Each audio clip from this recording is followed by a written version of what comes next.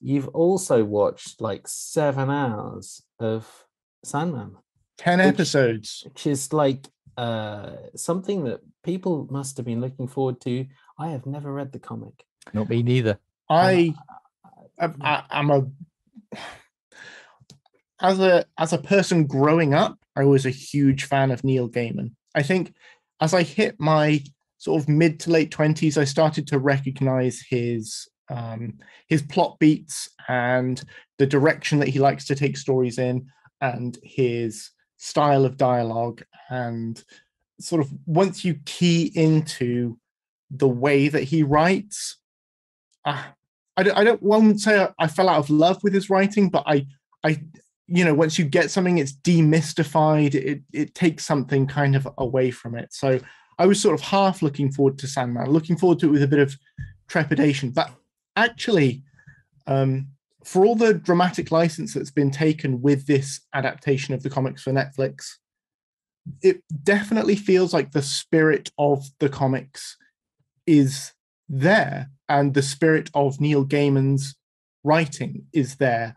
And that's kind of mostly for better, a little bit for worse. Um, I think if you look at any of Neil Gaiman's adaptations to the big or small screen, the thing that sticks out most is his brand of kind of offbeat dialogue does not really translate into the mouths of actors. It it is fun to read on the page, but when you make people say it out loud, it sounds a bit weird.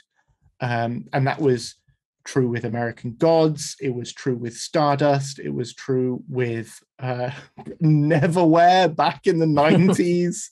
like, Yeah, American Gods went off the rails. yeah, Maybe um, never was was on the rails in the first place. I Oh, I don't know. I quite like the first season. I anyway. did, I did, but it had to. Anyway, yes. Yeah. Anyway, indeed, yes. I'm very Um, much looking forward to this. It is This good. It is a good genre show. Hmm. The the really weird thing about it is that if you are familiar with the comics, you will instantly recognize it as being the stories from the first and second volumes of comics. Um, and if you don't, if you have never read one of these comics in your life, which is going to be most of the audience, it's going to make the season look a bit odd because it sticks really interestingly to that structure completely rigidly in in the respect that it's almost like two mini seasons of a show. You have a five episode storyline a interval of one episode which is um, fun character study and then you have a four episode storyline. And it's there is only one through line which is this guy behind me the corinthian who is a nightmare created by the main character dream who's the uh, lord morpheus the god of dreams. And he created a nightmare. The nightmare has gone out into the world um, and is out of control. And that is the only through line for the 10 episodes. They are almost standalone. I got man to go on a very quick digression i absolutely hate it when people say oh you know serialized tv these days it's like a long movie. Like screw that. People should learn how to write television in an episodic way that is enjoyable to watch for one episode at a time. Um, sandman is absolutely not that. It is like two three hour movies with kind of like two short half hour interludes stitched together in the middle. And taken as two slightly overstuffed overlong three hour movies i think it's hugely enjoyable. I, I think it, it holds together really really well. The the stories have different casts they have different ideas um, and they are just like it's just dark fantasy done really well. The design work is great. The the scripting on the whole is really great um, the performances david thewlis is in the first story and he is absolutely brilliant as he always is. Um, the mem the cast members of the second story struggle a bit more to begin with but definitely hit their stride by the end of the season, and it, it's just a really sharp, like ten part dose like a- of Like an easy six out of ten, is it? You know what? It's it's more. It's I more. know. I'm reading an eight from you. It I, I sounds think phenomenal. it might be. Eh, eh, ju- I've just got to remind everybody, this is on Netflix. Yeah. How did how did this happen? I mean, Yeah. I'm staring down the, The- barrel of Jamie Foxx in Night Shift on Friday, I know. and, and and, it's I'm thinking, is it going to be a five or a six? I'm not You- really, you know, it might it will probably won't be a four, but it'll be really lucky to be a And you- seven. And you you're think telling me that that Sandman is good and faithful and accurate, and it'll please fans, and That's it. will be. I mean, that's just Well, nonsense. now- You're lying. Let's let's not go too far. There are some fans that it definitely won't please. There is some gender swapping and some racial diversifying amongst the characters. That is going to Not please the people on the prey thread. oh yeah, yeah. I mean, but I, I, it, it feels true to the spirit of of Neil Gaiman's writing, and and that feels good.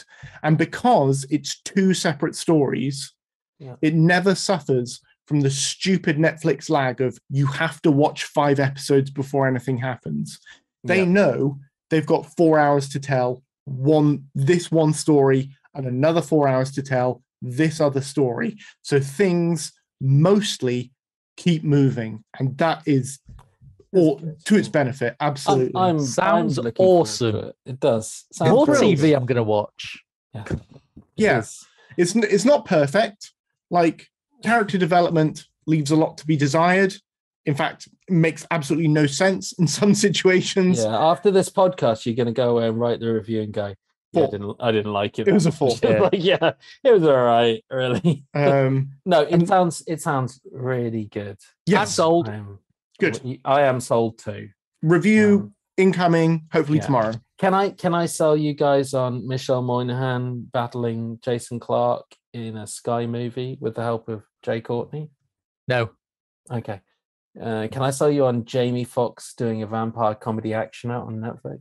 No. Hundred percent no. Okay. Hang on. J- Uh, J- Jai Courtney and uh, Jason Clarke. Is it a Terminator Genisys sequel? no, it can easily be. Let's not talk Oh. about that. Yeah. Um, that's, that's, that- that's a low bar for, for this Netflix gone to limbo under. Isn't it? yeah, I think I think they'll make it. Uh, and we got Nope. Mark's Who doing gets Nope. who gets to re- re- review Nope? I'm, Mark's I, doing Nope. I'm going for nope. Mark's God damn Nope. you, Mark! Oh. Yeah. Yeah, sorry. What can I say? Already, by the way, months ago, I said I bet it's about this. Recently revealed, it definitely is about what I said it was Yeah. about. Yeah. I'm a winner.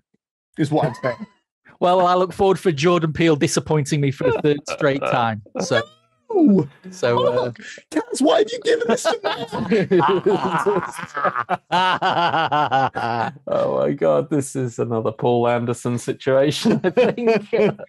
Best Paul Anderson movie. Uh, no, no, uh, no, no, uh, no. joint- Be- joint- best, best I think you'll. by any director with the words Paul and Anderson in his it- name. it- it's the best Paul Anderson movie that doesn't have a huge prosthetic penis in it. There. Uh, drink your milkshake. I just Drink it up. seek Yeah. help. I did. I did. you brought milkshake.